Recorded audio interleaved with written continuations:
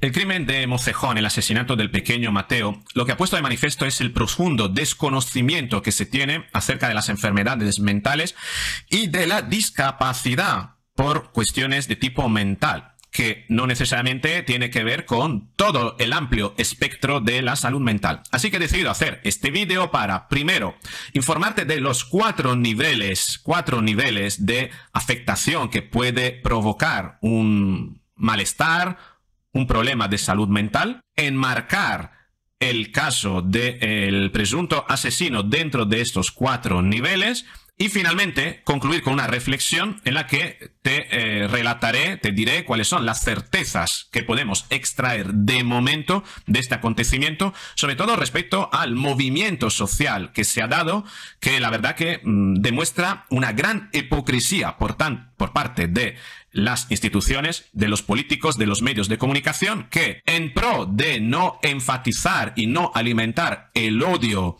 en contra de los inmigrantes, sí que han contribuido a incrementar el odio hacia otro colectivo igual de desprotegido o incluso más, que son los enfermos mentales. Sí, porque esta noticia, tal como se ha tratado, no ha garantizado la misma protección para el colectivo de inmigrantes que para el colectivo de enfermos mentales. Te lo voy a detallar todo en este vídeo. Venga, vamos allá.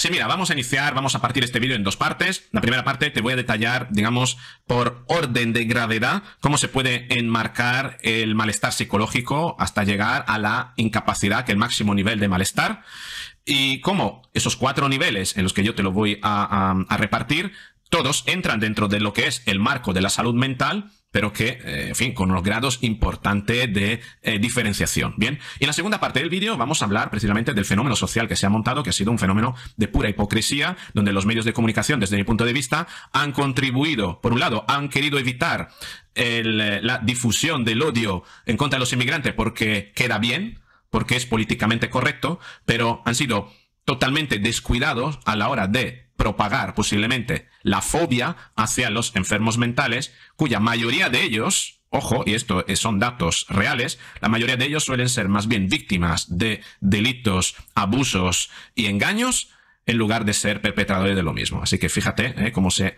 eh, se ha querido ser tan correctos con uno, pero no querer usar el mismo criterio, ¿no? Con otro colectivo. Al final, pues aquellos que señalan a otros que están propagando el odio, lo acaban propagando ¿eh? hacia otros colectivos sin darse cuenta. Tremendo. Pero vamos a ver un poquito el tema de los de la diferenciación por grados, ¿no? En psicología em, hay cuatro grados de gravedad en, referido a los problemas, los malestares mentales, ¿vale? El primero son los estados emocionales transitorios que solo suponen una incomodidad o malestar, pues un enfado, en fin. Vale, pues, tú puedes tener periodo de estar más o menos enfadado con el mundo, pero esto no te supone ningún trastorno, eh, ninguna, eh, ninguna enfermedad mental, ¿vale? No es diagnosticable, tienes un malestar generalizado y decides acudir a un psicólogo. Para eso no vas a un psiquiatra. Incluso te puede provocar ciertos niveles de estrés, ¿no? Ciertos niveles de eh, comportamiento prontos, em, conflictos con los demás bueno, hay gente que para eso se toma un orfidal, se toma calmantes, se bebe tila, busca mm, automedicación incluso, porque no estamos ante una eh, enfermedad a todos los efectos, ¿no? Pero cuando esto, eh, digamos, se mantiene durante el tiempo y además afecta a la persona en distintos ámbitos, puede ser la señal de un trastorno latente, ¿vale? Entonces entraríamos en el segundo eh, nivel de gravedad, segundo de cuatro, que es el nivel de trastorno, ¿no? Un trastorno que es algo que es diagnosticable en base a lo que es el DSM, DSM-5, estamos en la quinta, quinta edición del DSM, DSM-5, que es el Vademecum de enfermedades y trastornos mentales, que recoge oficialmente todas las enfermedades, los trastornos mentales, lo tengo ahí, además, en, mi, librería, y, y además recoge los criterios diagnósticos para que eh, se pueda enmarcar a una persona dentro de eh, un determinado trastorno en base a una serie de criterios. Y es algo muy, muy, muy tipificado em, de una manera casi aritmética, ¿no? Y, no te permite eh, salir de ahí, no te permite, no, no, te lleva a, confusiones, por así decirlo, ¿no? Son em, tipificaciones muy concretas que una persona o cumple con normalmente tres o más em, criterios o directamente no es diagnosticable su trastorno, ¿vale? Estamos en el campo de los trastornos que ya se empiezan a diagnosticar. Uno, estados emocionales no se diagnostican, se sienten. Dos, trastornos que se diagnostican. Tres, enfermedades, es decir, cuando estamos ante algo que es crónico, ¿vale? Algo que ya, pues algo que se protrae en el tiempo, ¿vale? Y que requiere no solo de un tratamiento psicológico, sino también de un tratamiento farmacológico, ¿vale?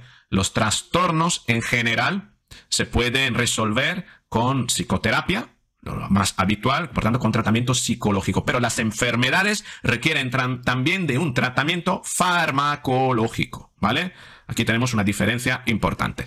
Y finalmente tenemos el cuarto grado de gravedad, que es la incapacidad, es decir, la enfermedad que provoca incapacidad, que puede ir por grados, ¿no? Por niveles, por porcentajes. Bien, de estas últimas, ojo, ¿vale? Cuando llegamos a incapacidades de alto porcentaje por encima del 75%, estamos diciendo, estamos prácticamente sosteniendo que la enfermedad de esa persona le provoca una incapacidad que le hace prácticamente imposible vivir si no es bajo la tutela y el apoyo permanente y constante de una persona que esté al lado, ya sea un profesional, ya sea un familiar, pero que con más de un 75% de incapacidad y además certificada, esa persona no puede valerse por sí misma.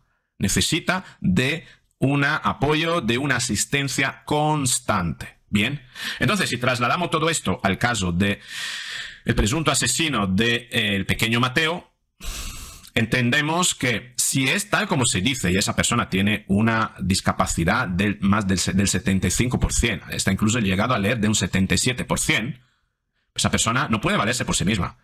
Eh, puede tener distintas enfermedades mentales que pueden provocarle esa incapacidad, pero cuando se llega a ese nivel de incapacidad, sea cual fuere la enfermedad que lo provoca, es una incapacidad y por tanto incapacita a la persona para realizar muchísimas tareas, entre las cuales conducir, entre las cuales eh, posiblemente planear una actividad, entre las cuales deshacerse de eh, o cancelar pruebas de un delito, ¿vale? Entre las cuales incluso mm, relatar un hecho, un acontecimiento o realizar una confesión, atar ideas, construir razonamientos. Entonces, claro, cuando hemos llegado a conocer que la policía había tomado por válida la confesión de esta persona, con un 75% de discapacidad, si es que realmente tiene ese porcentaje certificado, sería imposible que la policía se diera cuenta. No se diera cuenta, quiero decir, de que su relato no era congruente, que podía achacarlo al nerviosismo, etcétera, etcétera, pero qué raro, ¿no? Por tanto, esto es lo que tenemos y esto es lo que creo que te puede ayudar a entender, primero, mm, conocer mm, los distintos grados de un malestar hasta una enfermedad incapacitante, ¿vale? Y dar el justo dimensionamiento a cada problema de salud mental, porque aquí se habla de salud mental y parece ser que el, eh, el chico de 17 años que tiene un problema de adaptación al contexto de un instituto en el que acaba de aterrizar porque es nuevo, Mm, en un barrio concreto con un cierto tipo de eh, nivel y cultura social sea lo mismo, ¿no? Que una incapacidad mm, de una persona que tiene, pues, a lo mejor un trastorno del espectro autista o quién sabe qué otro tipo de, eh, de problema que le incapacita, ¿vale? Ojo, y con respecto a los autistas, importante también evidenciar que no se sabe cuál es la enfermedad real de esa persona. Se ha hablado de que fuera autista. Si fuera autista, mm, excluiría la posibilidad incluso de, eh, de que realice delitos, porque los autistas viven tan inmersos en su mundo que no interactúan lo suficiente como para sentir un cierto nivel emocional como para llegar a querer dañar a tercero. El mismo autismo encierra tanto a la persona en sí misma que prácticamente impide que esa persona pueda sentir algún tipo de odio o pueda experimentar algún tipo de emoción que provoque una conducta violenta intencionadamente, lesiva de una persona. Puede ser violento porque tiene un momento, eh, algún brote, ¿no? Que, que, que, de alguna manera es eh, incontrolable y se le trata de calmar y se resiste. Pero no está provocando de manera activa un daño a la persona. ¿no? Me explico. Por tanto, no planea hacerle daño a una persona, una, un autista. No, no me encaja esto. Entonces algunos han dicho, bueno, es que puede que sea un psicópata. No, es que un psicópata, porque sea psicópata, no podría tener precisamente ese nivel de incapacidad. ¿no? La psicopatía no está asociada a lesiones eh, mentales y neurológicas graves, porque además tenemos que añadir una cosa las enfermedades incapacitantes normalmente suelen tener una base y una evidencia en las funciones y estructuras neuronales. Ya sea por nacimiento, ya sea por algún tipo de abuso de sustancia o algo que pueda haber ocurrido en esa persona que ha generado un daño en su estructura neuronal o un daño en la funcionalidad del cerebro, es decir, en cómo el cerebro realiza sus funciones, o en la estructura o en las funciones cerebrales, ¿no? Entonces, normalmente una incapacidad tiene una base biológica, una base fisiológica centrada en el cerebro que permite precisamente justificar esa incapacidad. Bien. Entonces, una persona que tenga psicopatía es posible que tenga dañadas algunas partes del cerebro bueno, pero no es lo habitual. No, es habitual que una persona desarrolle una psicopatía por algún daño cerebral, ¿no? El cerebro de los psicópatas funciona de manera diferente porque hay ciertas partes, concretamente las que están asociadas a la empatía, que eh, efectivamente no funcionan debidamente respecto a lo que es la, eh, digamos, el, común de las personas, ¿no? Pero no estamos hablando de lo mismo, ¿no? Y ahora vamos a finalizar el vídeo con la segunda parte, que son las conclusiones, las certezas ¿no? que, he podido extraer de este, de este acontecimiento, que la verdad que son muy lamentables. ¿no? Primero, que lo evidente de todo esto es la prisa por parte de las instituciones y de los medios de comunicación de tener un culpable muy rápidamente y que de ser un culpable de nacionalidad española casi mejor, ¿no?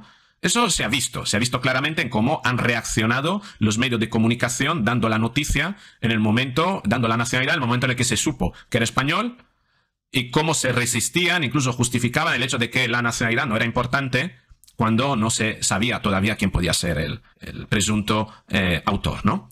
Luego han sido tan rápidos en señalar al culpable en cuanto supieron que es español, pero no lo fueron a la hora de poner en cuarentena la autoría en cuanto se supo que el presunto culpable tenía una discapacidad mental. Dicho de otra manera, la prudencia que quisieron vendernos de no dar datos del posible asesino mientras andaba suelto y por tanto podía atentar contra otras personas, y esa excesiva prudencia que tuvieron para no ser irreverente o no faltarle respeto al colectivo de inmigrante, no la manifestaron esa prudencia a la hora de respetar el secreto de sumario, el derecho a la privacidad del supuesto, del presunto asesino y la protección de su condición mental, puesto que efectivamente podría generar una, una cierta irritación social innecesaria frente al colectivo de enfermos mentales, ¿no?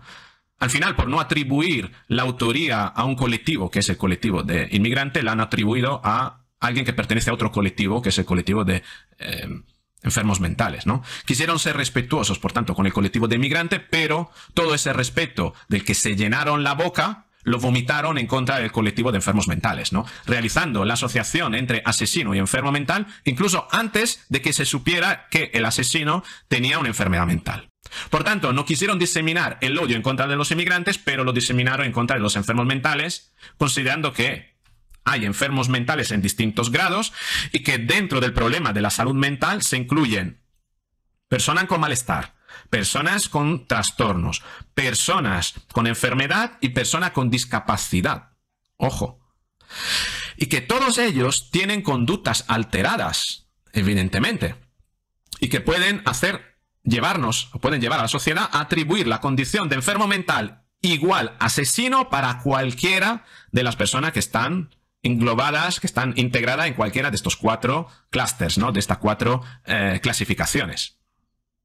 Por tanto, concluyo que todo esto atiende a una pura hipocresía social de los medios de comunicación y que la Fiscalía, si se quiere que actúe en contra de lo que diseminaron el odio por señalar a racistas, también debería actuar entonces, bajo el mismo criterio, contra aquellos que iniciaron a señalar la autoría en una persona con trastorno mental ¿Por qué? Porque al final estaban estigmatizando a todo un colectivo de personas que sufren y cuya mayoría no solo no suele estar vinculada a actos violentos en contra de las personas, sino que además suele ser víctima de ello. Tremendamente injusto, pero me gustaría saber qué es lo que opinas tú disponiendo ya de toda esta información. Te espero en los comentarios. Si te ha gustado el vídeo, dale al me gusta, compártelo, suscríbete, activa la campanita y así nos veremos en próximos vídeos.